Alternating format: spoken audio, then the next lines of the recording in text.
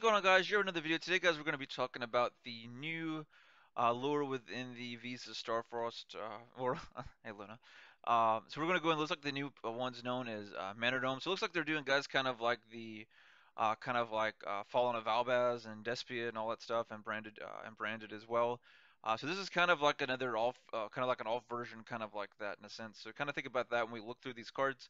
What I want to primarily discuss, I'll let you guys kind of read their effects. Some of them I'll re read their kind of effects, but mostly I want to talk about yet again is the stuff good? Can you use it with within uh, Scareclaw, or you know this eventually they'll probably end up doing maybe like a structure deck or can the archetype kind of stand on its own kind of thing. So those are things we'll primarily cover in this video because I want to make sure we're being different than the other news report channels that are just reporting what the cards do. So we'll look at that or it's on the screen where you guys can read. So with that being said, guys, we'll go ahead and dive in.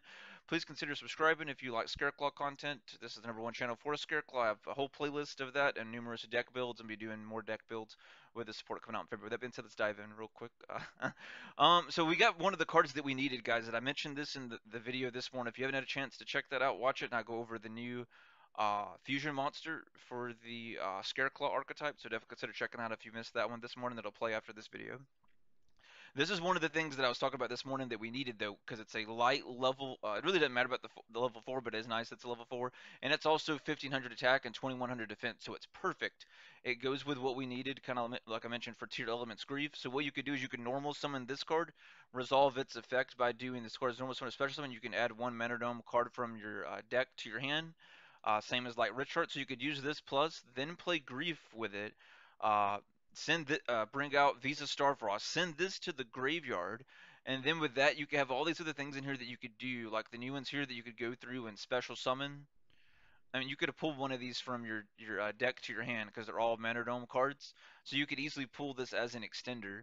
Whether you're wanting to uh, synchro with it, which is a synchro we'll look at here in a moment, all of them basically let you synchro, guys. Uh, so because they're all tuners, all the, these little level twos that we'll look at, uh, and they can let you special summon if you have something like like this here, like the Reichheart for Scareclaw, uh, or this guy here, the Manadome, uh, uh, I guess Riumheart is how you pronounce, I think pronounce that. Uh, and these level twos, they all they all pretty much do the same thing. They all just special summon from the hand if you have the Visas Starfrost or like the card above, or like Reichheart or you know Reinoheart for the Tearlament, stuff like that. So these will work very well with them as far as extenders, whether it's Synchro plays or you could just use them as additional free summons for going in for even for Scareclaw. So I think they're pretty decent extenders. Uh, we'll kind of take a look at the. Uh, let's, let's, look at the synchro real quick. So this one's made of, it's called Manadome uh, Prime Heart, which is real cool. 3,000 attack, 3,000 defense. He's real cool light. Looks like a nice, uh, nice, very cool uh, boss monster. So this card attack in the number of uh, times each battle phase up to the number of tuners used as materials. That's cool. Uh, this card can be synchro summoned using Manadome Wait, if this card is going to use Manadome Tuners as material, cannot be targeted by your opponent's effects. That's really good. Uh, if this face-up Synchro Summon card leaves the field due to your opponent, you can special summon one Visas Starfrost or uh, monster 15 attack, 20 defense. You can bring back your Reichheart, the Riumheart that we looked at earlier, or your til or Reinoheart for the Tearlaments.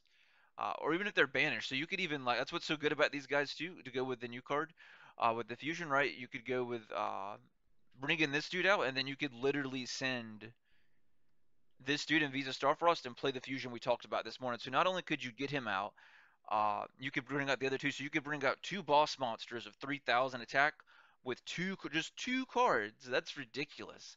Uh, so that's why I wanted to cover this way so you guys could see more how it's going to work with the actual uh, archetype itself.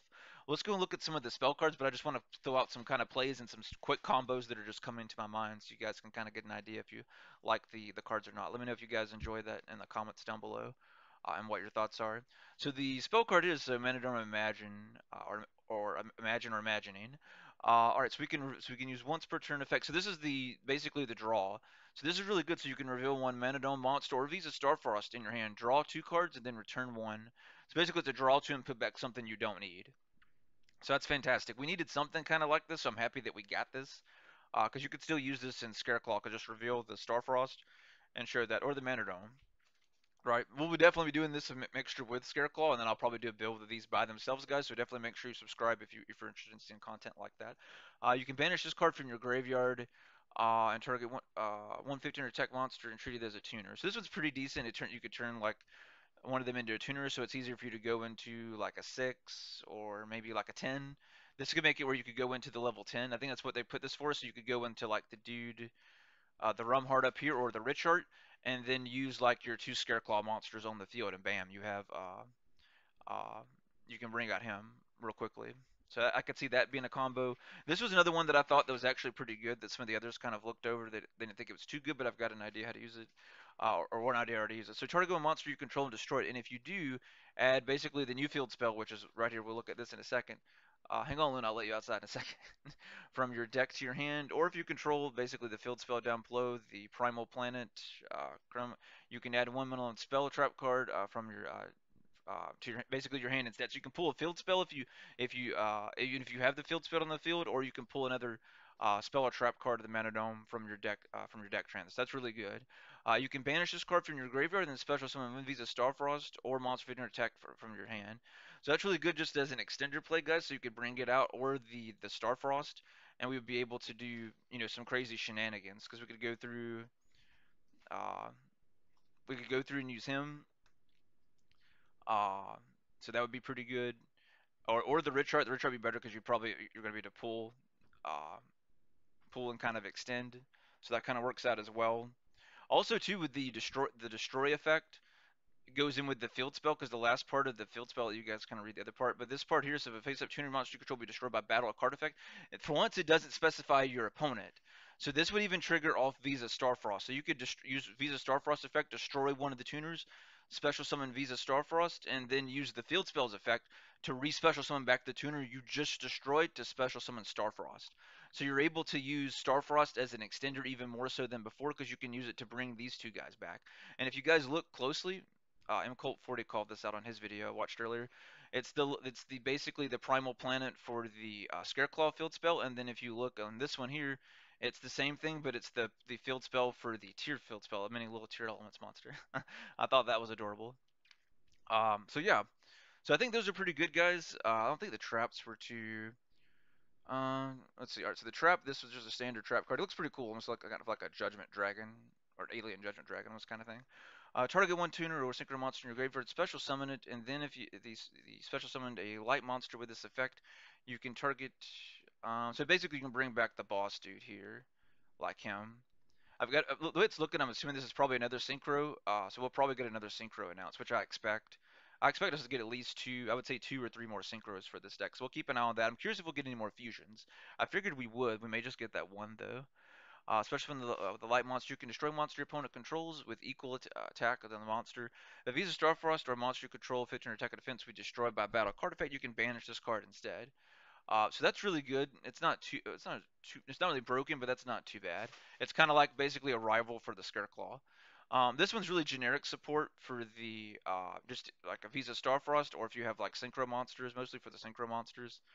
Uh, so it's just kind of an extra effect if you happen to have uh, Visas Starfrost. Um, was it? This one. This one's pretty good. It gave me some, something that I've kind of wanted, and I've kind of mentioned in previous videos for Scareclaw. Uh, unfortunately, it's only for the Mana Dome cards, though. So you can banish this card from your graveyard, target three Mana, monst- uh, Mana Dome monsters in your graveyard, and return them to the deck. I think that's pretty good, especially since these guys kind of cycle. Uh, as far as like these two, we'll see if we get another one. I think we, we should get. I figured we'd get one more with their field spell on it. So like there may be a chance we get a third one with it, because to me that would make sense.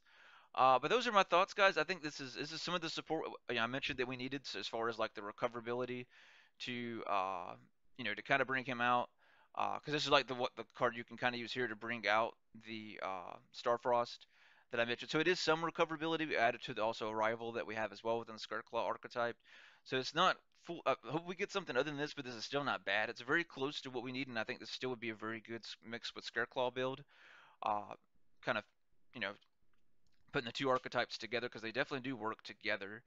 Uh, so definitely stay tuned, guys. I'll do once we get these cards in Omega. I'll do a deck profile with these as well as soon as we get access to the Omega. With that being said, guys, I'll go ahead and end the video here. I appreciate you guys' love and support. Make sure you guys like, comment, and subscribe, and I'll see you in the next one.